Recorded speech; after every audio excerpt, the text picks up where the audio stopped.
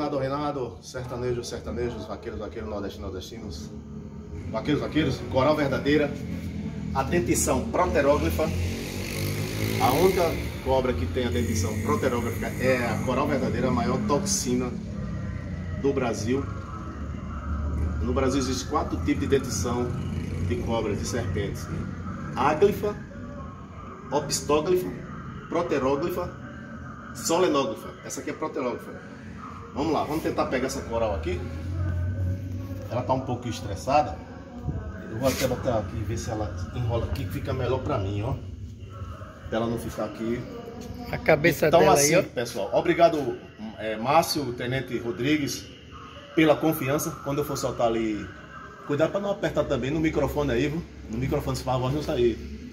O microfone é embaixo. Eu tenho que falar realmente tranquilo. isso, cuidado, porque senão a voz não vai sair não. Mas eu tenho que falar, não tem pra não correr não. Então aqui, ó, a, a coral verdadeira, cabeça branca, olhos pequenos, ela é toda pintada e a coral falsa, ela é, tem a barriga branca e a pintura dela é em cima. Não mata as cobras, elas têm as, têm as importâncias. Essa coral aqui, ela come as outras cobras, come aquela cobra chamada duas cabeças. É, elas têm sua importância na natureza. É como eu sempre falo aquela frase: a vida tem duas faces, lado positivo e lado negativo. O passado foi duro, mas deixou seu legado. Que eu possa dignificar minha condição, aceitar minhas limitações, que eu possa me fazer de pedra de segurança dos valores que vão desmoronando. Nasci em tempos rude, aceitei contradições, lutas e perdas como lição de vida. Delas me sirvo, aprendi a viver. Coral verdadeira, tem a pitinha aí, ó. É muito pequena a cabeça dela. É, o veneno dela, a toxina dela sai, escorre pelos dentes dela, pela presinha dela que tem aí na frente.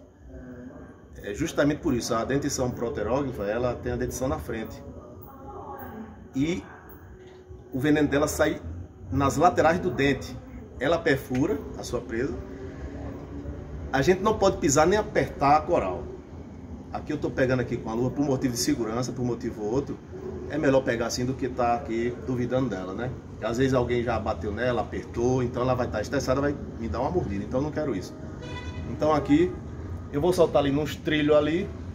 Eu não sei se o meu amigo guerreiro combatente vai, pode dar uma pausa aí. Mas depois vai mostrar ali. Sim, senhor, meu cabo Braz. dar uma pausinha aí. Vou dar uma pausa aqui. Deu uma pausa? No vermelho?